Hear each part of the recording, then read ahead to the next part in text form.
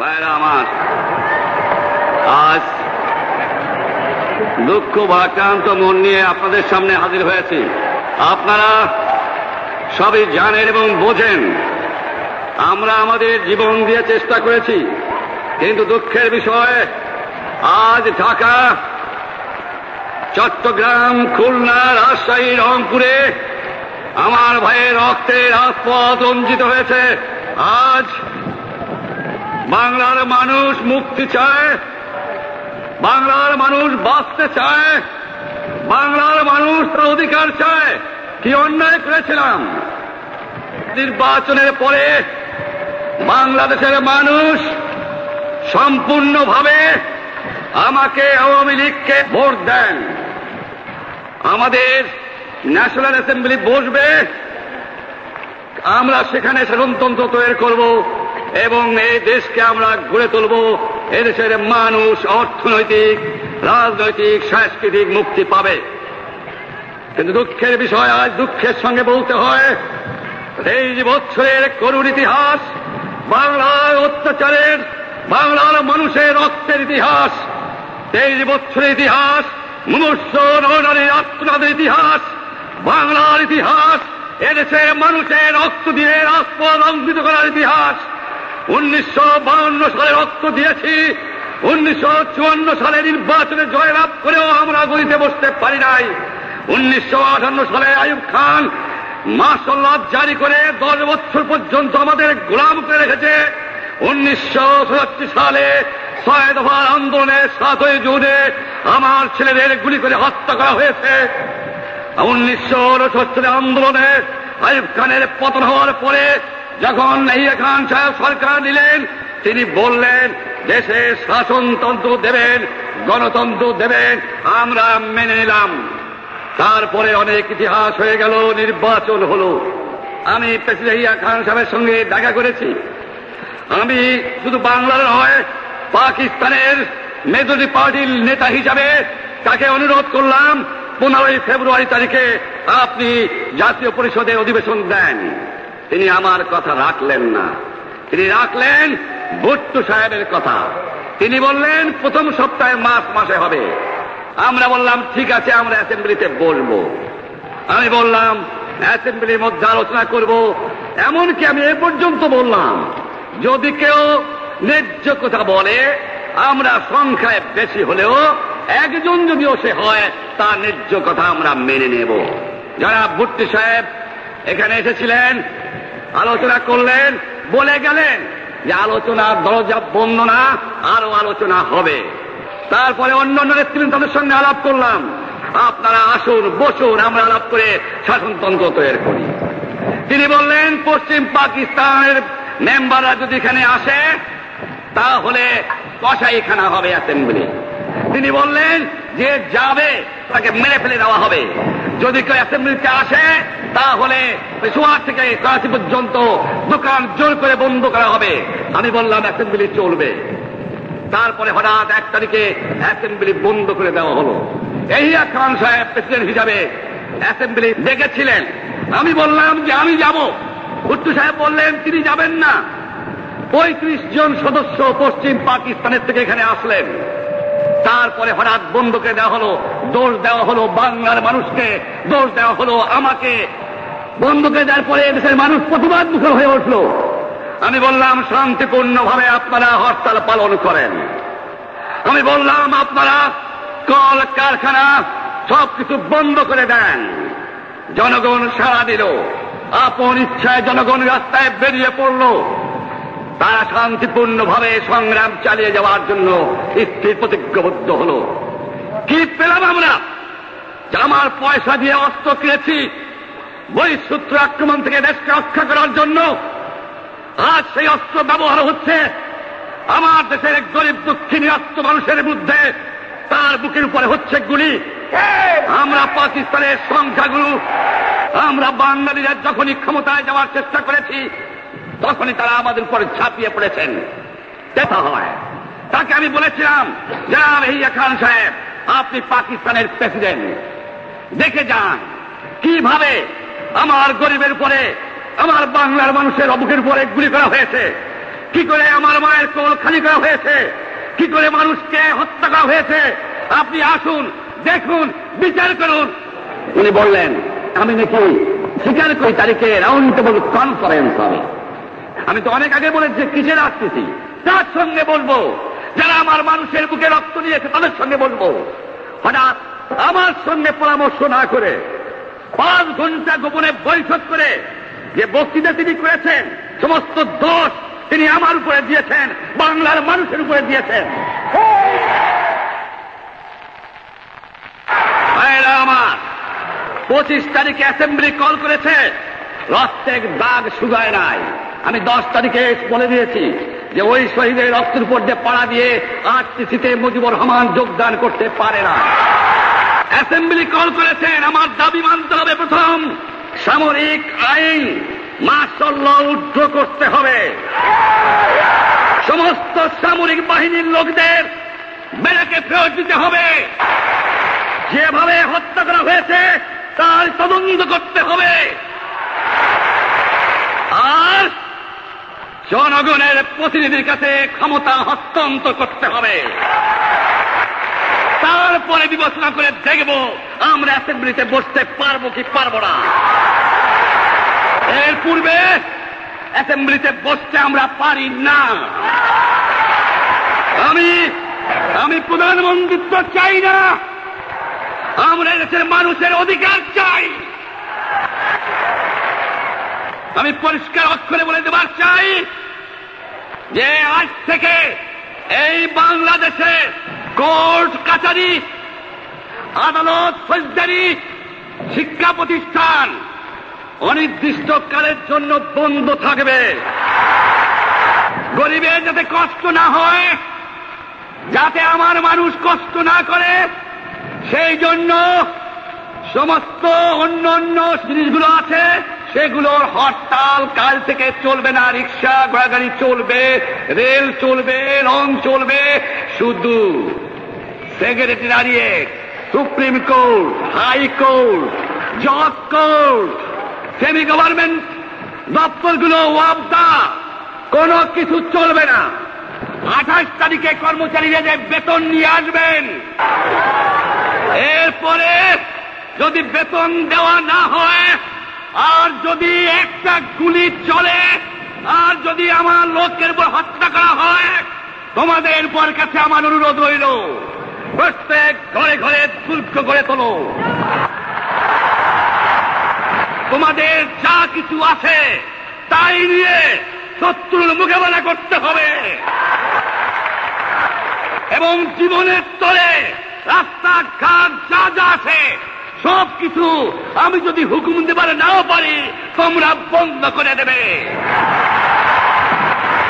আমরা ভাতে মারব, আমরা পানিতে মারব। তোমরা আমার ভাই, তোমরা বেড়াকে থাকো, কেউ তোমাদের কিছু বলবে না। কিন্তু আর আমার বুকের উপর গুলি চালাবার চেষ্টা করো না। সাত কোটি মানুষকে চাপা রাখতে পারব না। আমরা যখন মরতে শিখেছি তখন কেউ আমাদের দোবাতে পারবে না। আর যে সমস্ত লোক শহীদ হয়েছে, আঘাতপ্রাপ্ত হয়েছে, আমরা আওয়ামী লীগের থেকে যতদূর পারি তাদের সাহায্য করতে চেষ্টা করব। যারা পারেন, আমার রিলিফ কমিটি সামান্য টাকা পয়সা পৌঁছিয়ে দেবেন। আর এই সাত দিন হরতালে যে সমস্ত শ্রমিক ভাইরা যোগদান করেছেন প্রত্যেকটা শিল্পের মালিক তাদের বেতন পৌঁছায় দেবেন সরকারি কর্মচারীদের বলি, আমি যা বলি তা মানতে হবে। যে পর্যন্ত আমার এই দেশের মুক্তি না হবে খাজনা ট্যাক্স বন্ধ করে দেওয়া হলো, কেউ দেবে না। শোনেন, মনে রাখবেন, শত্রু বাহিনী ঢুকেছে, নিজেদের মধ্যে আত্মকলহ সৃষ্টি করবে, লুটতরাজ করবে। এই বাংলায় হিন্দু, মুসলমান বাঙালি নন বাঙালি, যারা আছে, তারা আমাদের ভাই। তাদের রক্ষার দায়িত্ব আপনাদের উপরে, আমাদের জন্য বদনাম না হয়। মনে রাখবেন রেডিও টেলিভিশনের কর্মচারীরা, যদি রেডিওতে আমাদের কথা না শোনে, তাহলে কোন বাঙালি রেডিও স্টেশনে যাবেন না। যদি টেলিভিশন আমাদের নিউজ না দেয়, কোন বাঙালি টেলিভিশনে যাবেন না। দুই ঘণ্টা ব্যাংক খোলা থাকবে, যাতে মানুষ তাদের মায়নাপত্র নেবার পারে, কিন্তু পূর্ব বাংলার থেকে পশ্চিম পাকিস্তানে এক পয়সাও চালান হতে পারবে না। টেলিফোন, টেলিগ্রাম আমাদের এই পূর্ব বাংলায় চলবে এবং বিদেশের সঙ্গে নিউজ পাঠালে আপনারা চালাবেন। কিন্তু যদি এই দেশের মানুষকে খতম করার চেষ্টা করা হয়, বাঙালিরা বুঝে শুনে কাজ করবেন। প্রত্যেক গ্রামে, প্রত্যেক মহল্লায় আওয়ামী লীগের নেতৃত্বে সংগ্রাম পরিষদ গড়ে তোলো। এবং তোমাদের যা কিছু আছে, তাই নিয়ে প্রস্তুত থাকো। মনে রাখবা, রক্ত যখন দিয়েছি, রক্ত আরও দেব দেশের মানুষকে মুক্ত করে ছাড়বো ইনশাল্লাহ এবারে সংগ্রাম, আমাদের মুক্তির সংগ্রাম। এবারে সংগ্রাম, স্বাধীনতার সংগ্রাম। জয় বাংলা।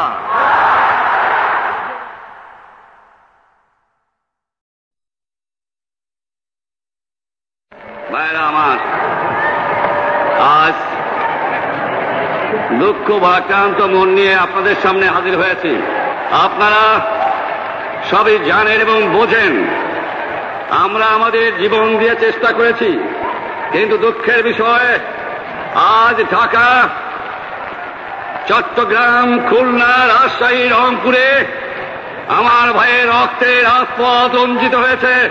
আজ বাংলার মানুষ মুক্তি চায়, বাংলার মানুষ বাঁচতে চায়, বাংলার মানুষ তার অধিকার চায়। কি অন্যায় করেছিলাম? নির্বাচনের পরে বাংলাদেশের মানুষ সম্পূর্ণভাবে আমাকে আওয়ামী লীগকে ভোট দেন। আমাদের ন্যাশনাল অ্যাসেম্বলি বসবে। আমরা সেখানে শাসনতন্ত্র তৈরি করব এবং এই দেশকে আমরা গড়ে তুলব। এদেশের মানুষ অর্থনৈতিক, রাজনৈতিক, সাংস্কৃতিক মুক্তি পাবে। কিন্তু দুঃখের বিষয়, আজ দুঃখের সঙ্গে বলতে হয়, এই যে বছরের করুণ ইতিহাস, বাংলার অত্যাচারের, বাংলার মানুষের রক্তের ইতিহাস তেইশ বছরের ইতিহাস মুমূর্ষ নরনারীর আত্মনাদের ইতিহাস, বাংলার ইতিহাস, এদেশের মানুষের রক্ত দিয়ে রাজপথ অঙ্কিত করার ইতিহাস। উনিশশো বাউন্ন সালে রক্ত দিয়েছি, উনিশশো চুয়ান্ন সালে নির্বাচনে জয়লাভ করেও আমরা গলিতে বসতে পারি নাই। উনিশশো আটান্ন সালে আয়ুব খান মার্শাল্লাহ জারি করে দশ বছর পর্যন্ত আমাদের গোলাম করে রেখেছে। উনিশশো সালে ছয় দফার আন্দোলনে সাতই জুনে আমার ছেলেদের গুলি করে হত্যা করা হয়েছে। উনিশশো সালে আন্দোলনে আইব খানের পতন হওয়ার পরে যখন ইয়া খান সাহেব সরকার নিলেন, তিনি বললেন, দেশে শাসনতন্ত্র দেবেন, গণতন্ত্র দেবেন, আমরা মেনে নিলাম। তারপরে অনেক ইতিহাস হয়ে গেল, নির্বাচন হলো। আমি প্রেসিডেন্ট খান সাহেবের সঙ্গে দেখা করেছি। আমি শুধু বাংলার নয় পাকিস্তানের মেজরিটি পার্টির নেতা হিসাবে তাকে অনুরোধ করলাম, পনেরোই ফেব্রুয়ারি তারিখে আপনি জাতীয় পরিষদে অধিবেশন দেন। তিনি আমার কথা রাখলেন না। তিনি রাখলেন ভুট্টু সাহেবের কথা। তিনি বললেন, প্রথম সপ্তাহে মাস মাসে হবে। আমরা বললাম, ঠিক আছে, আমরা অ্যাসেম্বলিতে বলব। আমি বললাম, অ্যাসেম্বলির মধ্যে আলোচনা করব। এমনকি আমি এ পর্যন্ত বললাম, যদি কেউ ন্যায্য কথা বলে, আমরা সংখ্যায় বেশি হলেও একজন যদিও সে হয় তার ন্যায্য কথা আমরা মেনে নেব। যারা ভুট্টি সাহেব এখানে এসেছিলেন, আলোচনা করলেন, বলে গেলেন যে আলোচনার দরজা বন্ধ না, আরও আলোচনা হবে। তারপরে অন্য অন্য নেতৃবৃন্দ তাদের সঙ্গে আলাপ করলাম। আপনারা আসুন, বসুন, আমরা আলাপ করে শাসনতন্ত্র তৈরি করি। তিনি বললেন, পশ্চিম পাকিস্তানের মেম্বাররা যদি এখানে আসে তাহলে কষাইখানা হবে অ্যাসেম্বলি। তিনি বললেন যে যাবে, তাকে মেরে ফেলে দেওয়া হবে। যদি কেউ অ্যাসেম্বলিতে আসে, তাহলে সোয়ার থেকে করাচি পর্যন্ত দোকান জোর করে বন্ধ করা হবে। আমি বললাম, অ্যাসেম্বলি চলবে। তারপরে হঠাৎ এক তারিখে অ্যাসেম্বলি বন্ধ করে দেওয়া হলো। এহিয়া খান সাহেব প্রেসিডেন্ট হিসাবে অ্যাসেম্বলি ডেকেছিলেন। আমি বললাম যে আমি যাব। ভুট্টু সাহেব বললেন, তিনি যাবেন না। পঁয়ত্রিশ জন সদস্য পশ্চিম পাকিস্তানের থেকে এখানে আসলেন। তারপরে হঠাৎ বন্ধুকে দেওয়া হলো, দোষ দেওয়া হলো বাংলার মানুষকে, দোষ দেওয়া হলো আমাকে। বন্ধুকে দেওয়ার পরে দেশের মানুষ প্রতিবাদ মুখর হয়ে উঠল। আমি বললাম, শান্তিপূর্ণভাবে আপনারা হরতাল পালন করেন। আমি বললাম, আপনারা কল, কারখানা সবকিছু বন্ধ করে দেন। জনগণ সাড়া দিল। আপন ইচ্ছায় জনগণ রাস্তায় বেরিয়ে পড়ল। তারা শান্তিপূর্ণভাবে সংগ্রাম চালিয়ে যাওয়ার জন্য স্থির প্রতিজ্ঞবদ্ধ হল। কি পেলাম আমরা? আমার পয়সা দিয়ে অস্ত্র কিনেছি বহিঃসূত্র আক্রমণ থেকে দেশকে রক্ষা করার জন্য, আজ সেই অস্ত্র ব্যবহার হচ্ছে। আমার দেশের গরিব দুঃখী নিরস্ত মানুষের বিরুদ্ধে তার বুকের উপরে হচ্ছে গুলি। আমরা পাকিস্তানের সংখ্যাগুরু, আমরা বাঙালিরা যখনই ক্ষমতায় যাওয়ার চেষ্টা করেছি তখনই তারা আমাদের উপরে ঝাঁপিয়ে পড়েছেন। দেখা হয়। তাকে আমি বলেছিলাম, জানাব হিয়া খান সাহেব, আপনি পাকিস্তানের প্রেসিডেন্ট। দেখে যান, কীভাবে আমার গরিবের উপরে, আমার বাংলার মানুষের অবুকের উপরে গুলি করা হয়েছে। কি করে আমার মায়ের কোল খালি করা হয়েছে? কি করে মানুষকে হত্যা করা হয়েছে? আপনি আসুন, দেখুন, বিচার করুন। উনি বললেন, আমি নাকি স্বীকার করি তারিখে রাউন্ড টেবল কনফারেন্স হবে। আমি তো অনেক আগে বলেছি, কিসের আসতেছি তার সঙ্গে বলব? যারা আমার মানুষের বুকে রক্ত দিয়েছে, তাদের সঙ্গে বলব। হঠাৎ আমার সঙ্গে পরামর্শ না করে, পাঁচ ঘণ্টা গোপনে বৈঠক করে যে বক্তৃতা তিনি করেছেন, সমস্ত দোষ তিনি আমার উপরে দিয়েছেন, বাংলার মানুষের উপরে দিয়েছেন। আমার, পঁচিশ তারিখে অ্যাসেম্বলি কল করেছে, রক্তের দাগ শুকায় নাই। আমি দশ তারিখে বলে দিয়েছি যে ওই শহীদের রক্তের উপর দিয়ে পাড়া দিয়ে আরটিসিতে মুজিবুর রহমান যোগদান করতে পারে না। অ্যাসেম্বলি কল করেছেন, আমার দাবি মানতে হবে প্রথম। সামরিক আইন মাসল্য উদ্ধ করতে হবে। সমস্ত সামরিক বাহিনীর লোকদের বেড়াকে ফেরত দিতে হবে। যেভাবে হত্যা করা হয়েছে, তার তদন্ত করতে হবে আর জনগণের প্রতিনিধির কাছে ক্ষমতা হস্তান্তর করতে হবে। তারপরে বিবেচনা করে দেখব আমরা অ্যাসেম্বলিতে বসতে পারব কি পারব না। এর পূর্বে অ্যাসেম্বলিতে বসতে আমরা পারি না। আমি আমি প্রধানমন্ত্রিত্ব চাই না। আমরা দেশের মানুষের অধিকার চাই। আমি পরিষ্কার অক্ষরে বলে দেবার চাই যে আজ থেকে এই বাংলাদেশে কোর্ট কাছারি আদালত ফৌজদারি শিক্ষা প্রতিষ্ঠান অনির্দিষ্টকালের জন্য বন্ধ থাকবে। গরিবের যাতে কষ্ট না হয়, যাতে আমার মানুষ কষ্ট না করে, সেই জন্য সমস্ত অন্য অন্য জিনিসগুলো আছে।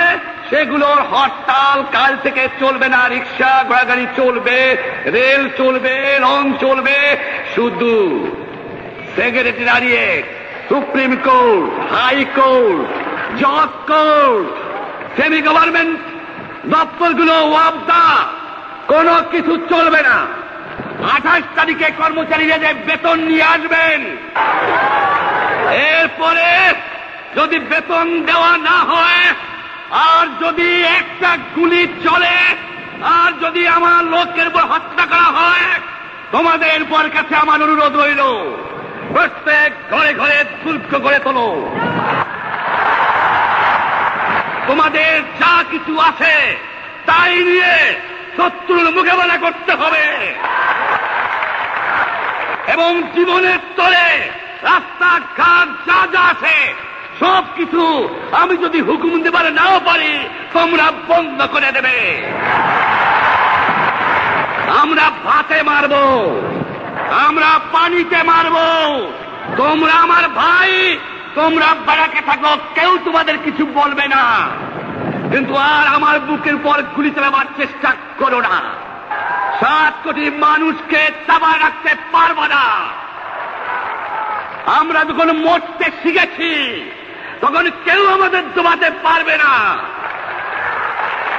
আর যে সমস্ত লোক শহীদ হয়েছে, আঘাতপ্রাপ্ত হয়েছে, আমরা আওয়ামী লীগের থেকে যদ্দূর পারি তাদের সাহায্য করতে চেষ্টা করব।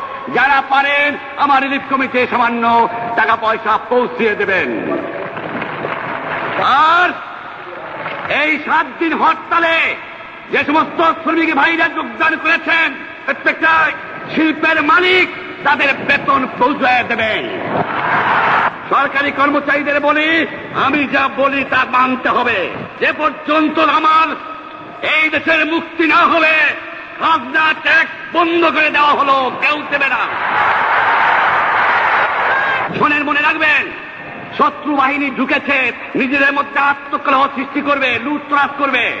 এই বাংলায় হিন্দু, মুসলমান বাঙালি নন বাঙালি যারা আছে, তারা আমাদের ভাই। তাদের রক্ষার দায়িত্ব আপনাদের উপরে, আমাদের জন্য বদনাম না হয়। মনে রাখবেন, রেডিও টেলিভিশনের কর্মচারীরা, যদি রেডিওতে আমাদের কথা না শোনে, তাহলে কোন বাঙালি রেডিও স্টেশনে যাবেন না। যদি টেলিভিশন আমাদের নিউজ না দেয়, কোন বাঙালি টেলিভিশনে যাবেন না। দুই ঘণ্টা ব্যাংক খোলা থাকবে, যাতে মানুষ তাদের মায়নাপত্র নেবার পারে, কিন্তু পূর্ব বাংলার থেকে পশ্চিম পাকিস্তানে এক পয়সাও চালান হতে পারবে না। টেলিফোন, টেলিগ্রাম আমাদের এই পূর্ব বাংলায় চলবে এবং বিদেশের সঙ্গে নিউজ পাঠালে আপনারা চালাবেন। কিন্তু যদি এই দেশের মানুষকে খতম করার চেষ্টা করা হয়, বাঙালিরা বুঝে শুনে কাজ করবেন। প্রত্যেক গ্রামে, প্রত্যেক মহল্লায় আওয়ামী লীগের নেতৃত্বে সংগ্রাম পরিষদ গড়ে তোলো। এবং তোমাদের যা কিছু আছে, তাই নিয়ে প্রস্তুত থাকো। মনে রাখবা, রক্ত যখন দিয়েছি, রক্ত আরও দেব, এই দেশের মানুষকে মুক্ত করে ছাড়বো ইনশাল্লাহ এবারে সংগ্রাম, আমাদের মুক্তির সংগ্রাম। এবারে সংগ্রাম, স্বাধীনতার সংগ্রাম। জয় বাংলা